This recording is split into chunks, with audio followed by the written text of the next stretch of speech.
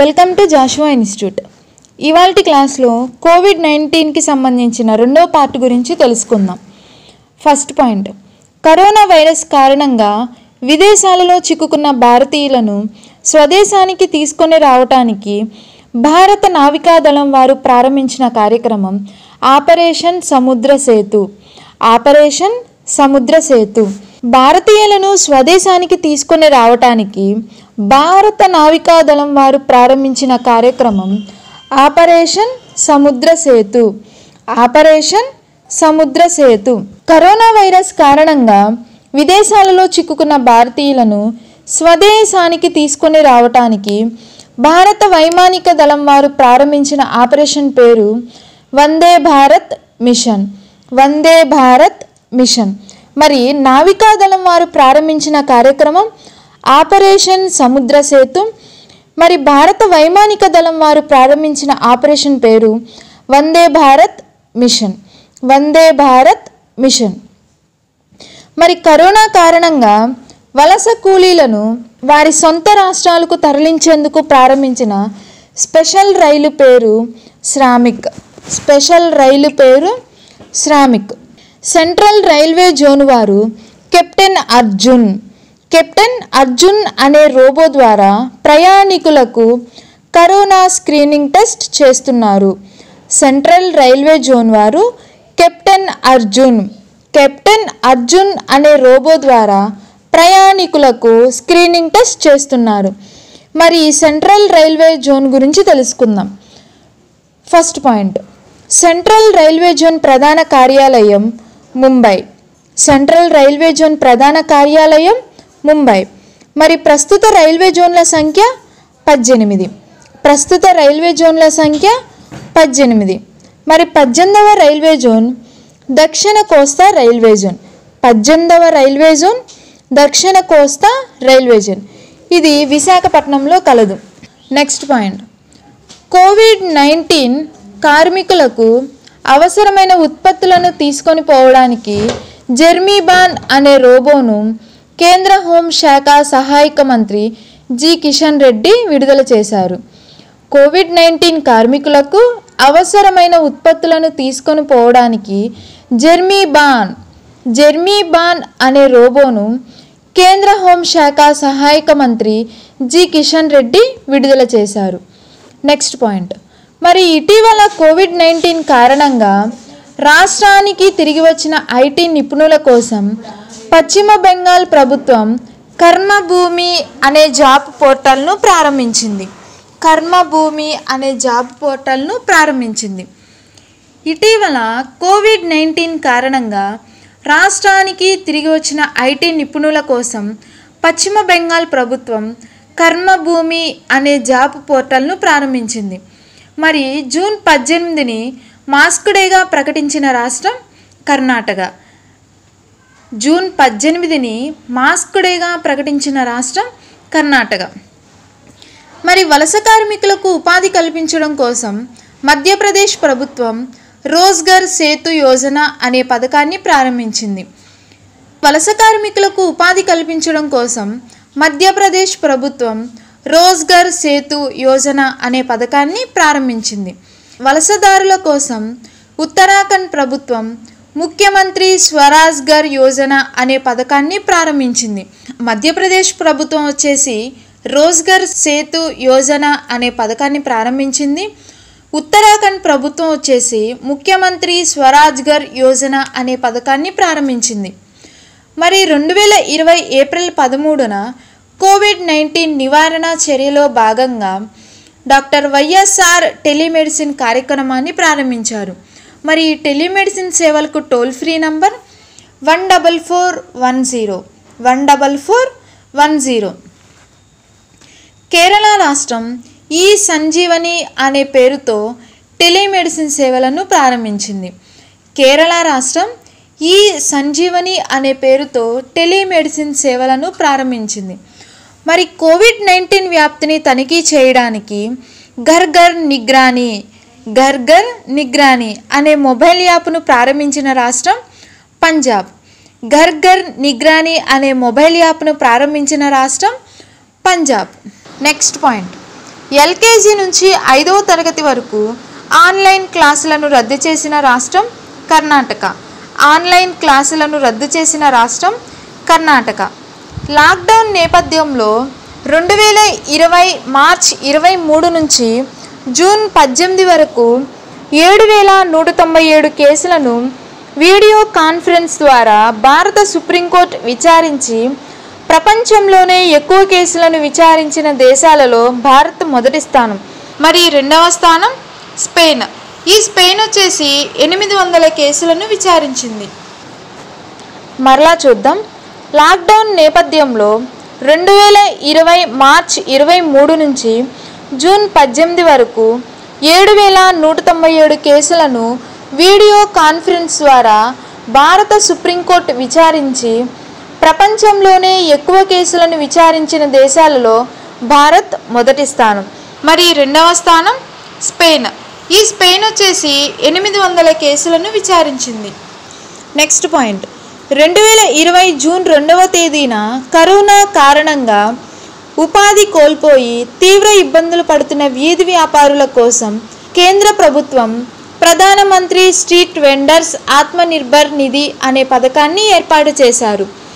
Street vendors Atmanirbhar నిధి అనే పథకాన్ని ఏర్పాటు చేశారు. ఈ పథకం ద్వారా పదివేల రూపాయల వరకు రుణం తీసుకోవచ్చు. ఈ రుణాన్ని నెలసరి వాయిదాల ప్రకారం సంవత్సరంలోపు చెల్లించాలి. సమయానికి కానీ ముందుగా కానీ చెల్లించే వారికి వార్షిక వడ్డీలో ఏడు శాతం రాయితీ వస్తుంది. ఈ పథకం ద్వారా పదివేల రూపాయల వరకు రుణం తీసుకోవచ్చు. ఈ రుణాన్ని నెలసరి వాయిదాల ప్రకారం సంవత్సరంలోపు చెల్లించాలి. సమయానికి కానీ ముందుగా కానీ చెల్లించే వారికి వార్షిక వడ్డీలో ఏడు శాతం రాయితీ వస్తుంది. Next point. తమిళనాడులోని మదురైకి చెందిన తొమ్మిదవ తరగతి చదువుతున్న నేత్ర తన తండ్రి తన చదువుకని దాచిన ఐదు లక్షల రూపాయలతో నేత్ర నిత్యావసరాలు కొనుగోలు చేసి లాక్డౌన్లో ఇబ్బంది పడుతున్న పేదలకు పంపిణీ చేసినది. వీరి సేవాగుణం ప్రధాన దృష్టికి వెళ్ళగా మన్ కీ బాత్లో అభినందనలు తెలిపారు. మన్ కీ బాత్లో అభినందనలు తెలిపారు. నేత్రాను యుఎన్ఏ డిఏపి తరపున గుడ్విల్ అంబాసిడర్ టు ది పూర్కు ఎంపిక చేశారు. Good will ambassador to the poor good will ambassador to the పూర్కు ఎంపిక చేశారు. యుఎన్ఏడిఏపి అనగా United Nations Association for Development and Peace United Nations Association for Development and Peace జెనీవాలో జరగబోయే UNO సమావేశంలో పేదరికంపై ప్రసంగించడానికి నేత్రను ఆహ్వానించారు. పేదరికంపై ప్రసంగించడానికి నేత్రను ఆహ్వానించారు. నేత్ర తండ్రి అయిన మోహన్ ఒక సెలూన్ యజమాని. నేత్ర తండ్రి అయిన మోహన్ ఒక సెలూన్ యజమాని. నరేంద్ర మోడీ రేడియోలో ప్రసంగించే మన్ కీ బాత్ కార్యక్రమాన్ని రెండు వేల పద్నాలుగు అక్టోబర్ మూడున ప్రారంభించారు. ఈ మన్ కీ బాత్ అనే కార్యక్రమాన్ని రెండు వేల పద్నాలుగు అక్టోబర్ మూడున ప్రారంభించారు. మరి మన్ కీ బాత్ కార్యక్రమంలో భాగంగా నరేంద్ర మోడీ ప్రతి నెల చివరి ఆదివారంలో రేడియోలో ప్రసంగిస్తారు. ప్రతి నెల చివరి ఆదివారం రేడియోలో ప్రసంగిస్తారు. నరేంద్ర మోడీ రేడియోలో ప్రసంగించే మన్ కీ బాత్ కార్యక్రమాన్ని రెండు వేల పద్నాలుగు అక్టోబర్ మూడున ప్రసంగించారు. ఈ మన్ కీ బాత్ కార్యక్రమంలో భాగంగా నరేంద్ర మోడీ ప్రతి నెల చివరి ఆదివారం రేడియోలో ప్రసంగిస్తారు. నెక్స్ట్ పాయింట్ అమెరికా దేశ చరిత్రలో పెరల్ హార్బర్ కంటే సెప్టెంబర్ పదకొండున వరల్డ్ ట్రేడ్ సెంటర్పై దాడి కంటే అతిపెద్ద దాడి కోవిడ్ నైన్టీన్ అని డొనాల్డ్ ట్రంప్ ప్రకటించారు. అమెరికాలో దేశ చరిత్రలో పెరల్ హార్బర్ కంటే సెప్టెంబర్ పదకొండు వరల్డ్ ట్రేడ్ సెంటర్పై దాడి కంటే అతిపెద్ద దాడిగా కోవిడ్ నైన్టీన్ అని డొనాల్డ్ ట్రంప్ ప్రకటించారు. మరి పంతొమ్మిది వందల నలభై ఒకటి డిసెంబర్ ఏడున జపాన్ అమెరికాలోని పెరల్ హార్బర్పై బాంబు దాడిని చేసినది. పెరల్ హార్బర్పై బాంబు దాడిని చేసినది. రెండు వేల పదకొండు సెప్టెంబర్ పదకొండున న్యూయార్క్లోని వరల్డ్ ట్రేడ్ సెంటర్పై ఒసామా బిన్ లాడెన్ దాడి చేశారు. ఒసామా బిన్ లాడెన్ దాడి చేశారు. రెండు వేల పదకొండు మే రెండున పాకిస్తాన్లోని అబుటాబాద్లో అమెరికా సైన్యం ఒసామా బిన్ లాడెన్ను కాల్చి చంపారు. మరి దీనికి పెట్టిన పేరు? Operation Geronimo. Operation Geronimo. America దేశ చరిత్రలో పెరల్ హార్బర్ కంటే సెప్టెంబర్ పదకొండు వరల్డ్ ట్రేడ్ సెంటర్పై దాడి కంటే అతిపెద్ద దాడి కోవిడ్ నైన్టీన్ దాడి అని డొనాల్డ్ ట్రంప్ ప్రకటించారు. పంతొమ్మిది వందల నలభై ఒకటి డిసెంబర్ ఏడున జపాన్ అమెరికాలోని పెరల్ హార్బర్పై బాంబు దాడిని చేసినది. రెండు వేల పదకొండు సెప్టెంబర్ పదకొండున న్యూయార్క్లోని వరల్డ్ ట్రేడ్ సెంటర్పై ఒసామా బిన్ లాడెన్ దాడి చేశారు. ఒసామా బిన్ లాడెన్ దాడి చేశారు. రెండు వేల పదకొండు మే రెండున పాకిస్తాన్లోని ఒబటాబాద్లో ఒబటాబాద్లో అమెరికా సైన్యం అమెరికా సైన్యం ఒసామా బిన్ లాడెన్ను కాల్చి చంపారు. ఒసామా బిన్ లాడెన్ను కాల్చి చంపారు. దీనికి పెట్టిన పేరు operation Geronimo. Operation Geronimo.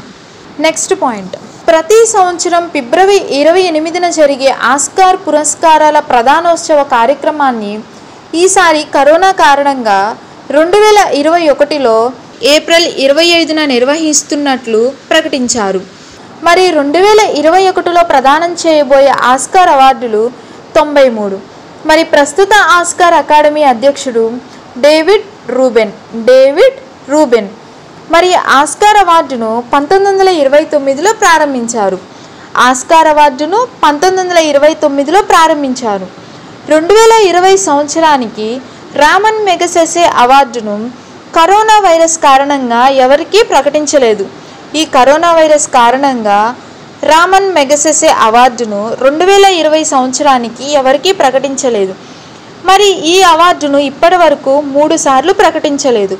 మొదటిగా పంతొమ్మిది వందల డెబ్బై ఆర్థిక సంక్షేమం కారణంగా రెండవదిగా పంతొమ్మిది వందల తొంభై భూకంపం కారణంగా మూడవదిగా రెండు వేల ఇరవై కరోనా కారణంగా ప్రకటించలేదు. Next point. ఈ రామన్ మెగసెసే అవార్డును ఫిలిప్పైన్స్ దేశం వారు పంతొమ్మిది వందల యాభై ఏడులో ప్రారంభించారు. ఫిలిప్పైన్స్ దేశం వారు పంతొమ్మిది వందల యాభై ఏడులో ప్రారంభించారు. ఈ అవార్డును ఆసియా ఖండంలో నోబెల్ బహుమతిగా పిలుస్తారు. నోబెల్ బహుమతిగా పిలుస్తారు. మరి ప్రతి సంవత్సరం ఆగస్టు ముప్పై ఒకటిన ప్రదానం చేస్తారు. ప్రతి సంవత్సరం ఆగస్టు ముప్పై ఒకటిన ప్రదానం చేస్తారు.